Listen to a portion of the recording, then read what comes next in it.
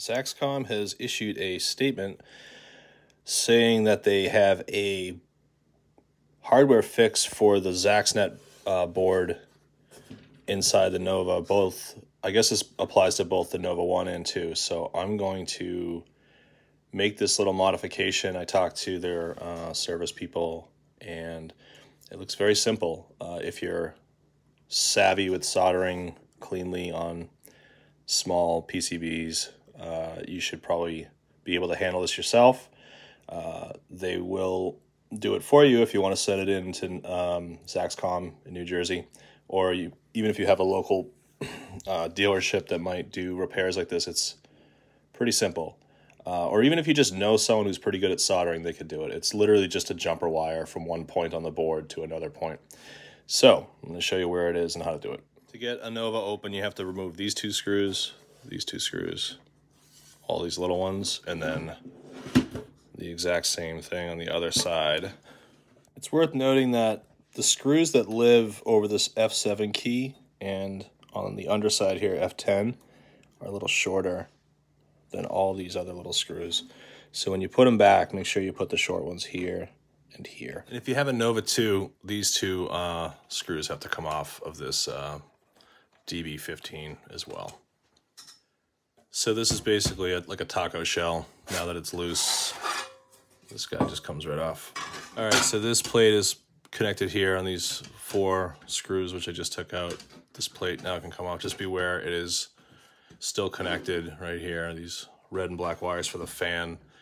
Uh, so flip it this way. So this here is the ZaxNet board. This is what we're going to take off. We have to undo these four outer screws. Do note that under this little foamy spacer they have here, uh, there's a connection here that goes this way and then it goes taped into here. So I'm to, I think I'm to pull these off first. This just gets pried off gently. I'd put a flathead right under there, underneath and just twist. All right, so we have the four screws out now. And um, this looks like it's just kind of floating here. This is a, a bunch of pins that go straight down into the board beneath it. So I'm gonna pull straight up gently. get a little wiggle while I do it. Putting most of my pressure upward here, pulling upward. There you go. And this is it. So this board is quite a bit smaller than I thought it would be uh, based on the photos they sent. This is a nickel for reference. And so the wire they've recommended is wrapping wire, 30 gauge. And it's very, very, very, very thin. The uh, Zaxnet board out of the Nova, flipped over, this is what it looks like. And I'll show you the diagram that we got from uh, Zaxcom service department, which uh, shows the route of what we're connecting to what. And I'll just point it out here with some little needle nose tweezers here. Uh, we're going from this inside edge of this component right here, right there, and it's going to travel over to this spot right here.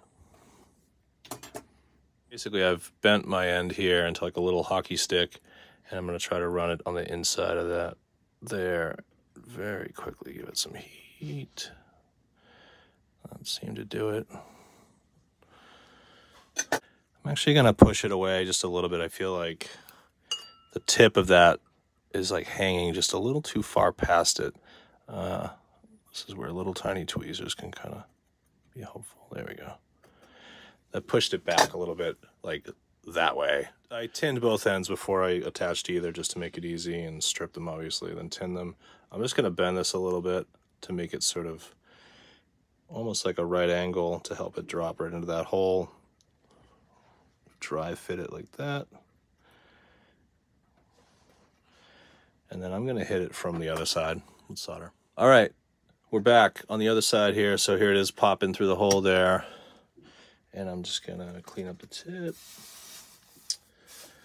And we'll just hit that with a very, very tiny little Actually, I'm gonna uh, I'm just gonna run a little a little uh, flux there first, just to give it something.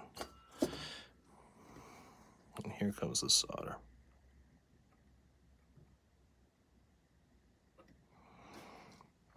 that looks good. my little flush cutter here to snip that little guy off there. And uh, yeah, I think that should do it.